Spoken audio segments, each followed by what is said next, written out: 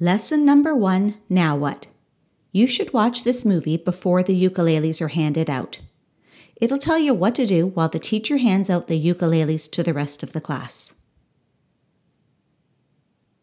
Most important, do not touch the tuning pegs at the top of your ukulele. If you do, your ukulele will be out of tune and sound terrible. Now here's how to hold your uke. Take a look closely at the pictures. You're going to hold your ukulele flat against your stomach with the neck and tuning pegs facing towards your left. The red sticker should be closest to the floor. Your left hand should approach the colored dots on an angle. Your right hand will hold the pick for strumming. Most beginners find using a felt pick to be the easiest. And if you're left handed, you will still play the same way as the rest of the class, just the first few lessons might be easier for you. Now, here's a handy hint to keep your uke from falling out of your arms. Use pressure from the inside of your lower right arm to hold the uke to your body.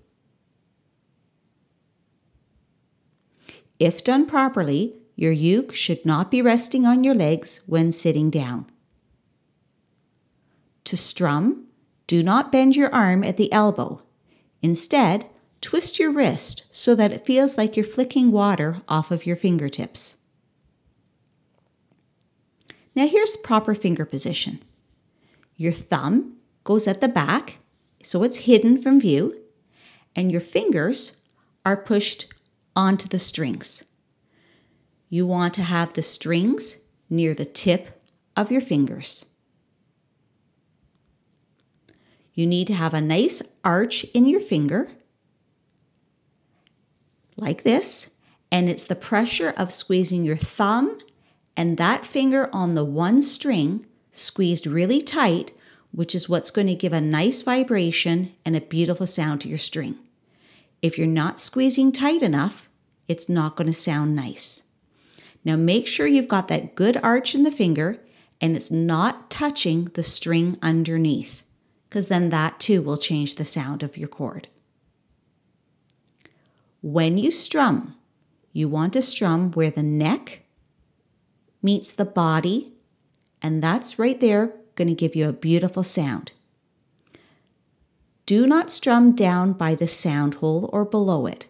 Guitar players do that, but the guitar has a much bigger body, and so it needs to be strummed by the hole. The ukulele is a small instrument, and you get the best sound when you strum at the top. Now it's almost time to hand out the ukuleles.